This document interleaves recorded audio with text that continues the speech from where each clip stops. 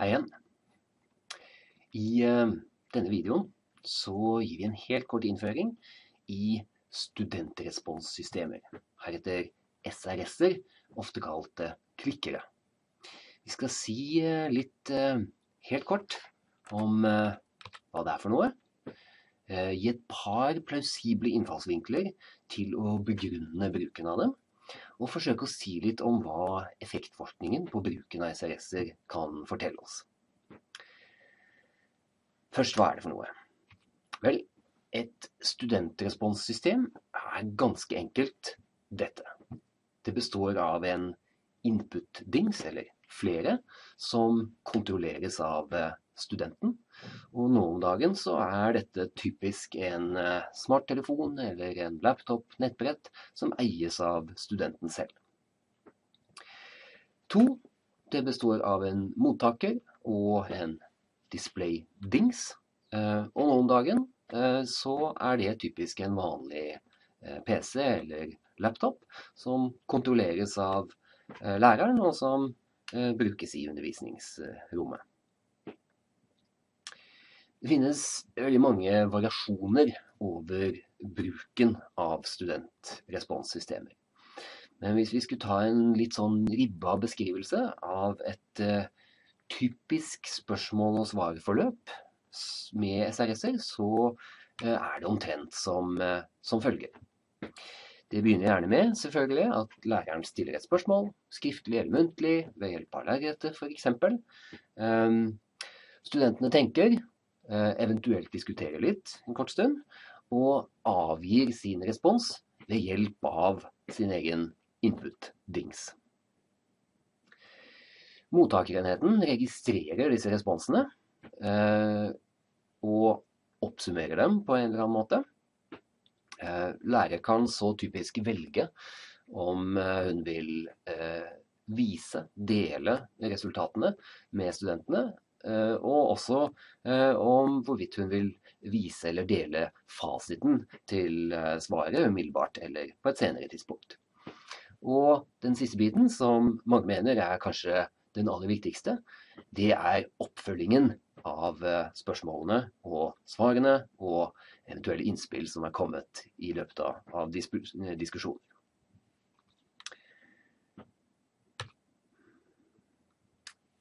La oss forsøke å si litt om eh, hva som kan være noen, noen, innfallsvinkler til å tenke gode grunner til at man kunne se for seg at det å bruke studentresponssystemer faktisk har noe for seg, eh, og kan bidra positivt til å øke studentenes læringsutbytte. Det fins mange muligheter her som vi kunne ha sett på, eh, og noe av det er anbefalt eh, i, i litteraturen til, til dette kurset. Eh, men jeg har to favoritter selv, og jeg hadde lyst til å nevne, nevne dem.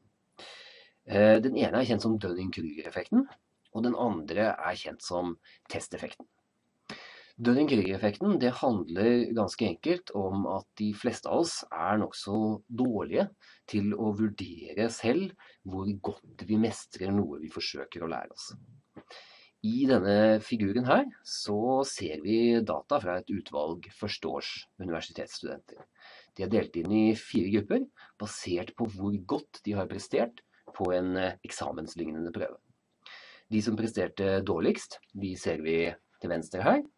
De som eh, presterte best, de eh, er til høyre her. På Y-aksen ser vi ytelsen på prøven i, i persentil ranking. Det er tre grafer i denne figuren her. Den med trianglene, den som skråner, den viser studentenes faktiske ytelse på prøven. Gitt sorteringa på, på Y-aksen, så blir den grafen per nødvendighet omtrent sånn.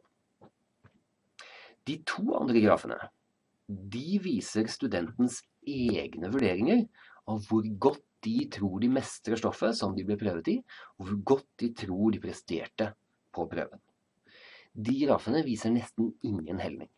Altså, de fleste studenter tror de mestrer stoffet omtrent like bra. Men det er i grunnen bare de beste studentene som treffer sånn noenlunde når de skal vurdere sin egen mestring av lærestoffet. De fleste, og særlig da den eh, dårligste halvparten, de overvurderer seg selv ganske grovt.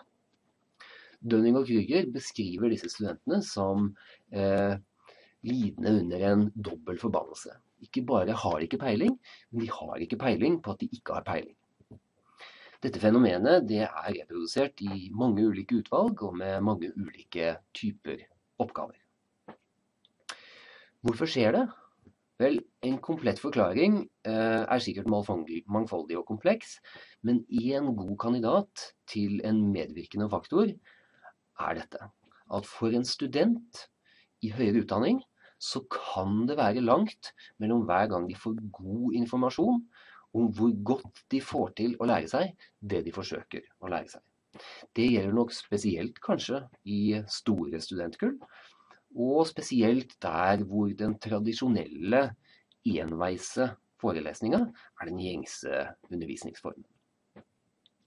Så bruk av SRS-er representerer antagelig én mulighet til å tilby studentene litt informasjon, litt tilbakemelding, feedback, om hvor godt de faktisk lærer.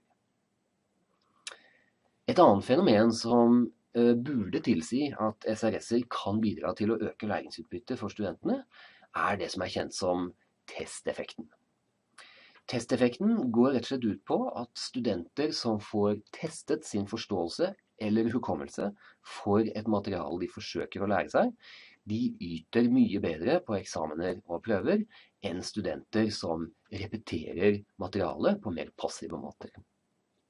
Dette har vært godt dokumentert i godt kontrollerte laboratoriestudier ganske lenge, og i de senere 10-20 årene er det også dokumentert i mer sånn økologisk valide og, og, og naturlige undervisnings- og, og utdanningssammenhenger.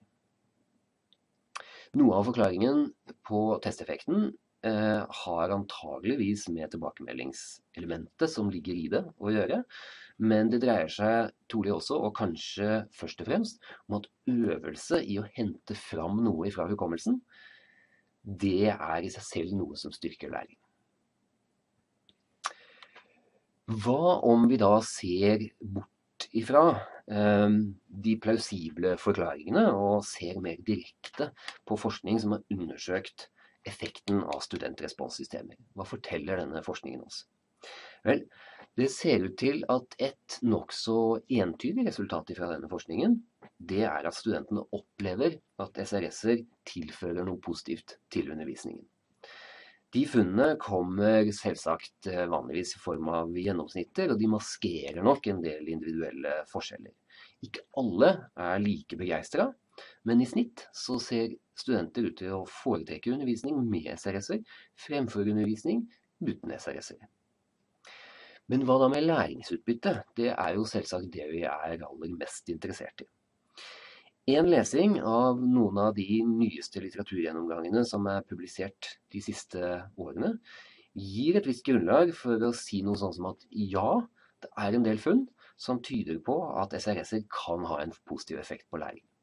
Samtidig så er resultatene her noe mer blanda enn hva gjelder studentenes opplevelse og innstilling. Det finnes også studier som ikke viser noen klar effekt. Da blir det selvfølgelig interessant for oss å spørre er det noen systematiske forskjeller på de studiene eller de undervisningsoppleggene hvor man finner en effekt av SRS-er, og opplegg hvor man ikke finner en effekt av SRS-er. Her tør jeg ikke være bombastisk, men det er en del forskere som sier at dette kan ha å gjøre med hvordan klikkerne brukes i undervisning. Noen stikkord som ofte nevnes i eh, denne sammenhengen, er bl.a. at utformingen av spørsmålene kan eh, bety en del eh, for om de virker læringsfremmende eller ikke. Det er mange som vektlegger at gode spørsmål ofte tester begrepsforståelse og stimulerer til å tenke igjennom. Videre så nevnes det ofte at det kan være et poeng å uh, utnytte klikkerspørsmål og klikkeresponser i diskusjoner, til å skape diskusjoner. Både gruppediskusjoner uh, eller plenumsdiskusjoner. Og ikke minst så fremheves det ofte at uh, oppfølgingen av spørsmålene og eventuelt diskusjonene, tilbakemeldingen, utover bare det å få vite hva det rette svaret er, er noe som kan ha betydning på hvorvidt eh, fungerer læringsfremmende eller ikke.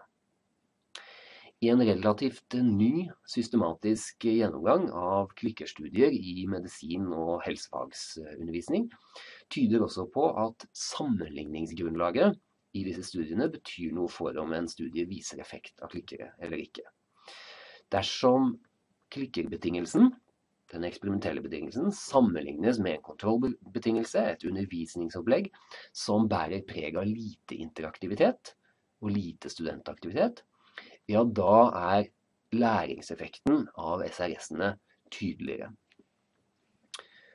Eh, og hvis det stemmer, så tyder jo det på at det kan være spørsmålene og håndteringen av spørsmålene, hvorvidt de stimulerer til mer læringsfremmende aktivitet, som er den aktive ingrediensen, eh, så å si, eh, knytta til SRS-er, og ikke nødvendigvis klikker teknologiene i seg selv. Så hvis vi skulle prøve å helt kort oppsummere noen av disse betraktningene, så kunne vi kanskje si at eh, de eh, tyder på at det kan være viktig å ha et reflektert og bevisst forhold til klikkere og klikkerspørsmål. Hvilke formål ønsker man å tjene ved å ta i bruk eh, sånn teknologi?